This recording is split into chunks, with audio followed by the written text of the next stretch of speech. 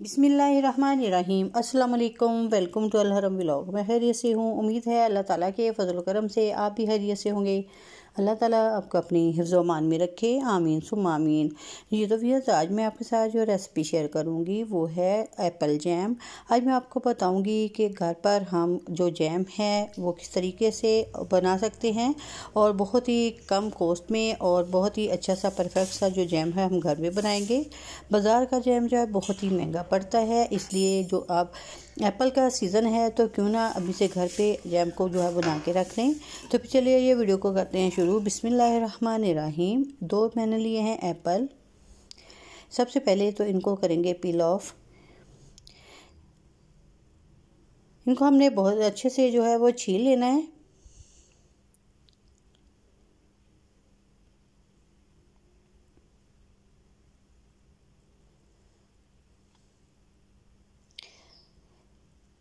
घर पे जो जैम जैम बनाएँगे वो बहुत ही परफेक्ट भी बनेगा और बहुत ही कम कीमत में भी बन जाएगा।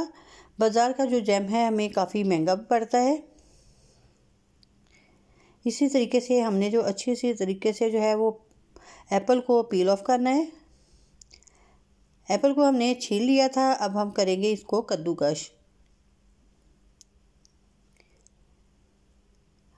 हमने बारीक बारीक सा कद्दूकश कर लेना है इसको।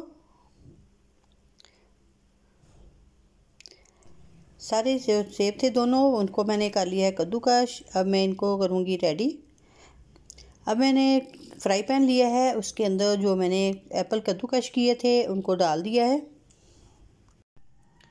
और अब मैं डालूँगी इसमें चीनी।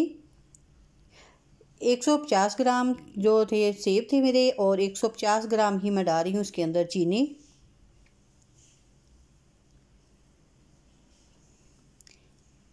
अब इसको डालने के बाद हम अच्छे से करेंगे इसको मिक्स।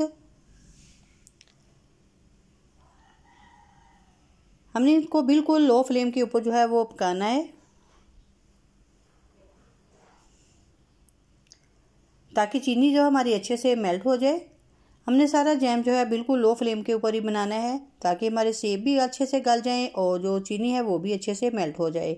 जैसे ही थोड़ी सी चीनी मेल्ट हो जाएगी तो मैंने इसको कवर करके जो है वो रख दिया है। पाँच से सात मिनट तक मैं इसको कवर करके रखूँगी। माशाल्लाह से देखें, पाँच से सात मिनट हो चुके थे तो मैंने इसको कवर करके रखा था और सेब जो है काफ़ी गल चुके हैं। और अब मैं डाल रही हूँ केवड़ा एसेंस। केवड़ा एसेंस जो है, ये ऑप्शनल है, अगर आपके पास है तो डाल लेकिन अगर नहीं है तो कोई मसला नहीं है। ये और क्या है कि केवड़ा एसेंस से जो इसकी खुशबू है, वो बहुत ही अच्छी सी आती है। अब हम इसको करेंगे मिक्स अच्छे से और साथ में स्पैचला की मदद से सेब हमारे गल चुके हैं, उसको ऐसे ही मसल मसल के इसको बारीक कर लेंगे। हमने अच्छे से जो है इसको बारीक कर लेना है, माशाल्लाह से देखें। सेब सेब जो है वो बिल्कुल अच्छे से गल चुके हैं और पक चुके हैं। इस पॉइंट पे आके हमने डाल दी इसके अंदर थोड़ी सी ब्लैक पेपर बिल्कुल थोड़ी सी डालनी है कि बस इसका जो टेस्ट है वो हल्का सा आए इसके अंदर। और इसको डालने के बाद इस तरीके से हमने इसको बिल्कुल अच्छे से मसल मसल के तो बारीक कर लेना है। हमने जो एप्पल जैम है बिल्कुल लो फ्लेम के ऊपर बनाना है। हमने पानी बिल्कुल ऐड नहीं किया था, हमने बिल्कुल बाफ के अंदर ही जो हमने इसको कवर करके पकाया था तो उसी के अंदर ही सेब जो थे वो गल चुके थे। हमारा जैम जो है वो रेडी हो चुका है काफ़ी हद तक। इस पॉइंट पे आके मैं एंड पे डालूँगी थोड़ा सा फ़ूड कलर ताकि इसका जो कलर है वो बहुत ही अच्छा सा आ जाए। मैंने इसके अंदर जेलो फ़ूड कलर डाला है। माशाल्लाह से देखें, इसका कलर जो है बहुत ही अच्छा सा आ गया है। बहुत ही परफेक्ट सा जो जैम है वो हमारा रेडी हुआ है। बहुत ही कम कीमत में और बहुत ही कम वक्त में जो जैम है वो रेडी हो चुका है। ये देखिए, बिल्कुल बाज़ार जैसा जैम जो है वो रेडी हुआ है। अभी मैं आपको डिश आउट करके दिखाती हूँ कि हमारा जैम जो है वो किस तरह का बना है। माशाल्लाह से देखिए, कितना थिकी थिकी सा और परफेक्ट सा जैम जो है वो रेडी हो गया है।